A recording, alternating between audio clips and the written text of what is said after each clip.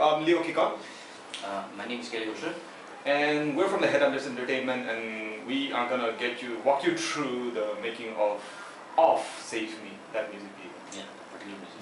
I am selfish and I'm blind. I can leave you far behind. I can even read your mind, baby. So can you save me? Uh, this particular music video, we made the stereoscopic version, which means you can wear one of these. Okay, this one I got from Top Gear, and you can wear one of these 3D glasses to uh, make you make sure that you look like an idiot, but still get the View, yeah that three-dimensional view. that effect. Yeah, that's right. Okay, so um, that was for the stereoscopic version. And other than that, uh, okay, uh, for the whole video we used 3D Max. Yes. To compile the whole thing, we used Final Cut Pro and uh, After Effects for the color correction.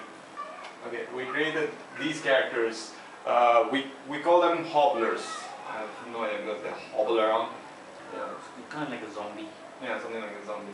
So um, the main idea behind this music video was to create a sort of a surreal scene where society blindly follows uh, a voice coming from know, a s- speaker sort of thing. Of course, the protagonists, the music, uh, the musicians in this case, the band members, they are the only ones who are free from the.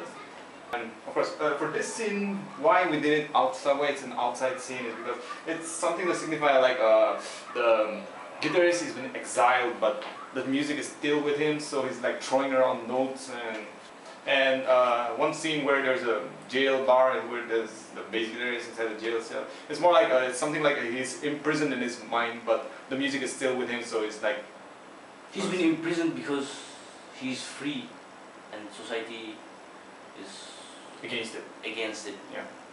So, uh, but the music is still within, so it just still keeps playing the bass, I suppose.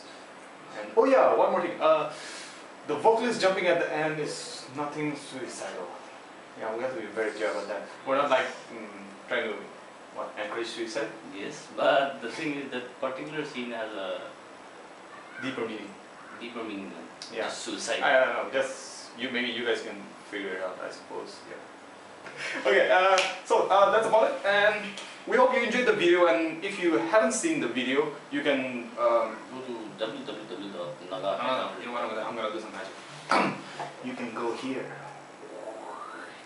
You see this? See this thing? Right now I'm just holding an empty hand. There's nothing here.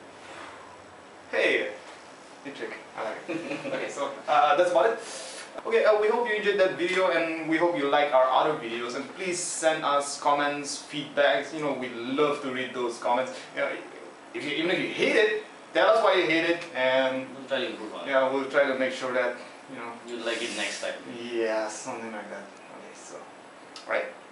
Peace out. Bye-bye.